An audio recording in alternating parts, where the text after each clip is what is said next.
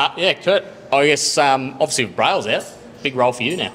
Yeah, um, it is. It is a big loss having Brails um, gone for the rest of the year. But like, you've seen Phoenix the last couple of weeks, you know, he's played some really good footy there, and me and Phoenix have kind of been um, juggling that sort of role. You know, just just so he until he finds his feet and gets his lungs. So um, you know, he's doing a great job there as well. How are you feeling this season? Seems like everything's going pretty well. Yeah, uh, I've had a bit of a up and down sort of start. I've missed a few games. This, that was the first back-to-back games I've played all year, so um, don't want to jinx myself yet. Just got to get through this week of training so I can put three in a row together.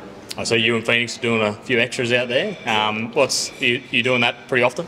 Yeah, uh, Bedsy grabs us after training, just with Brails gone now, and puts us through our paces. You know, it's pretty pretty good getting taught uh, by one of the best nines that ever played the game. So, uh, yeah, me and Phoenix have been trying to get together and do a few little things after training. You, is it does it feel different this year? This side, it seems like there's a lot more resilience about you guys, and obviously last weekend was it showed.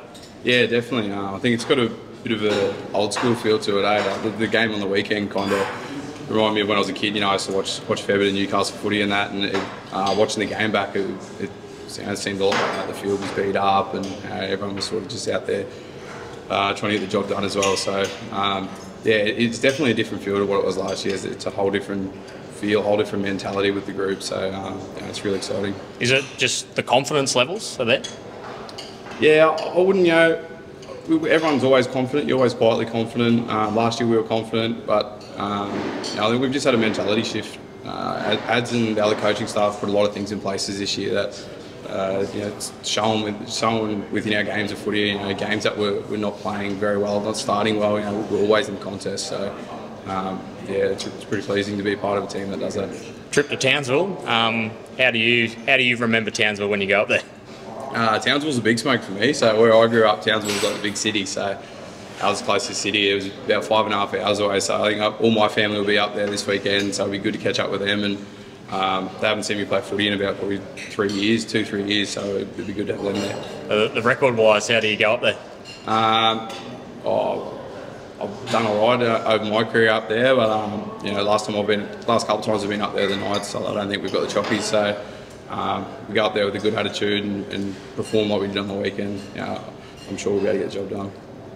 Are you expecting a very desperate Cowboys given the way their season has gone so far? Yeah, I think you know, every team wants to win every week, so it's, it's not a matter of being in desperate. Desperation definitely helps, you know, but um, they, they always want to win, and they're, they're, always a dangerous side across the park. You know, they've got a lot of strike out wide, and you know they've got some big boys in the middle as well.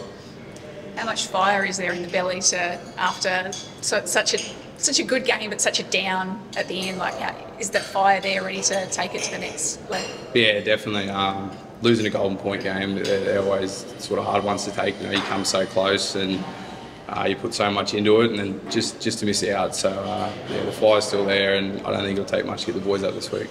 Can you pinpoint anything to why the second half starts haven't been great this season?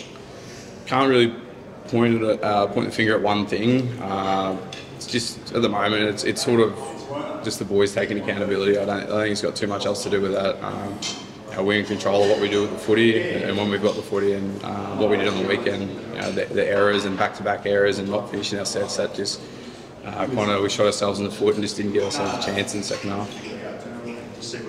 Do you like Golden Point?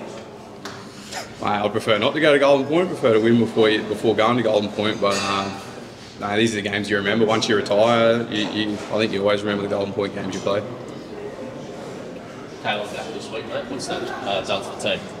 Um, yeah, mate, Kalyn's massive presence. You know, he's, everyone knows what he can do on the field, and um, as a leader as well. So he, he's going to be really, really important in that aspect of the, of the game as well. Just being out, um, one of our generals around the field. So, um, you know, really happy to have him back, and you know, can't wait to see him get out there. His, his return will probably shuffle a few things around. Where are you sort of expecting to play this week, and what role you'll play? Uh, I think I'm going to play at 13. I haven't seen the team list yet or anything, and um, I trained at 13 out there, and a bit of hooker. Been, like I said, been juggling that with Phoenix, but um, I'm not sure how the shuffle's going to work. I'd leave that up to Adsy. He's pretty good at that sort of stuff, not me. Yep.